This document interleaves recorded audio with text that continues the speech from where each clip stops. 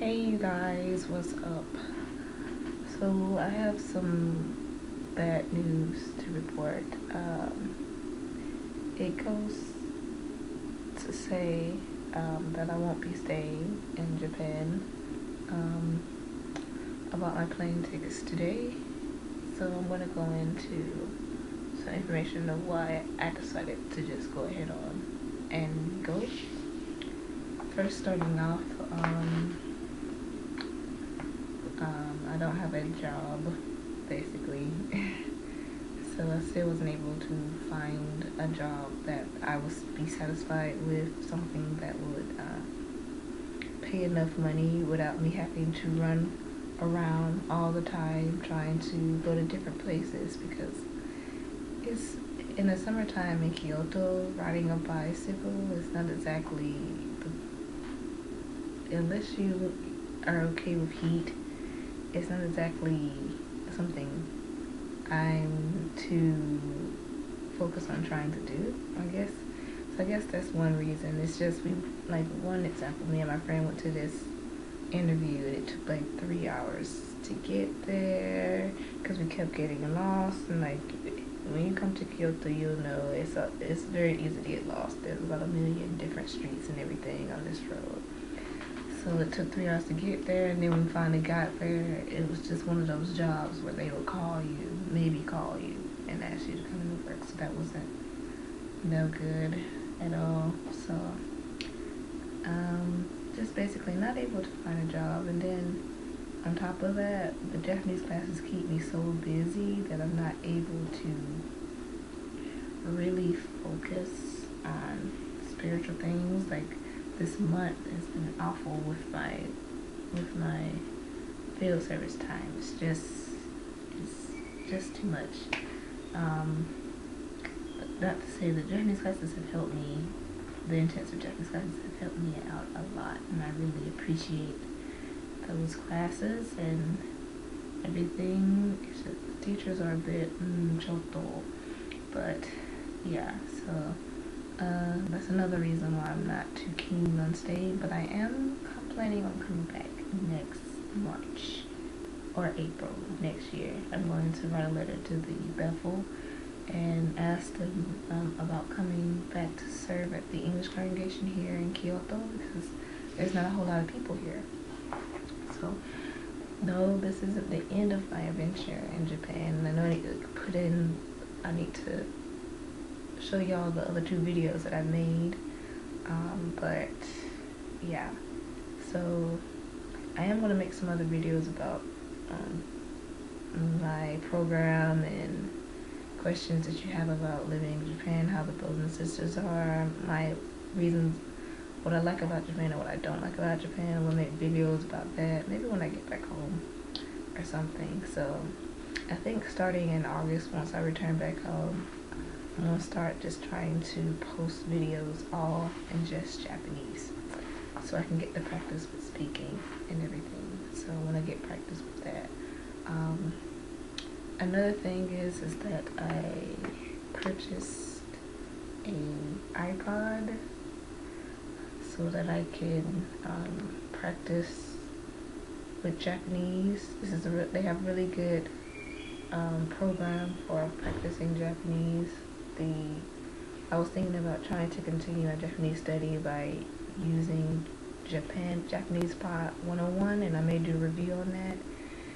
And uh, yeah you can't see that. But basically I like that the conveniency of it being on a little small this thing. And I can take it with me any anywhere that I want to. Like when I'm not really doing that much I can just sit and use it and study it but I am planning on trying to continue my Japanese study because when I come back next year, I want to be able to talk fully in Japanese and be able to understand fully all the meetings and everything. So when I get back here next year, I don't know how long I want to stay, but I'm ending my journey here now, for now, because um, I need to go home and work on saving some money um, that's another reason I had to pay, I had to become a self-paying student here. And though I had the money, without the part-time job, I wouldn't be able to really sustain myself here. So hopefully when I get back here, I will have enough money, and if not,